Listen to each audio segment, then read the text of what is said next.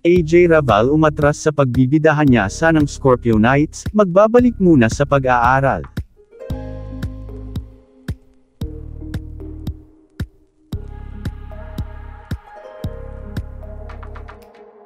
Hindi na matutuloy na bumida si AJ Raval sa pelikulang Scorpio Knights 3 na mula sa Viva Films. Ito ang kinumpirma ng daring actress sa digital media conference ng Kaliwaan na naganap noong lunes ng gabi, April 18, 2022.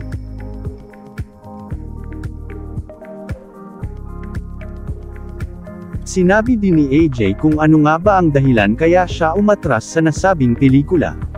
Actually kung mas nagawa ng Earlier ang Scorpio Nights or this month, April siguro magagawa ko pa rin po. May goal po kasi ako, this June pasukan na po at plano kong mag-enroll kaya lilo po muna ako sa pagpapasexy. Mag-aaral po muna ako. Malungkot din po ako na isa ang Scorpio Nights sa isa sakripisyo ko kasi nga po mag-aaral ulit ako, pagbabahagi ni AJ.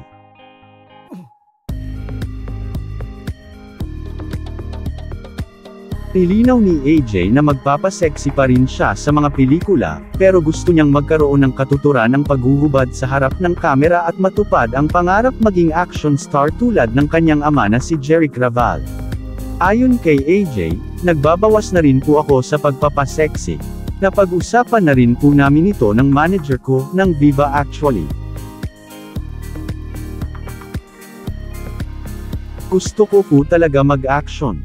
Gusto ko rin po na makuha yung dream ko na mag-action.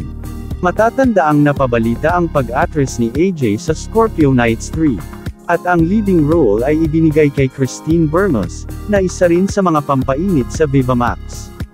Sabi ni Christine, walang issue sa kanya kahit second choice lang siya sa naturang remake ng erotic thriller film ni Direk Pek Galiaga.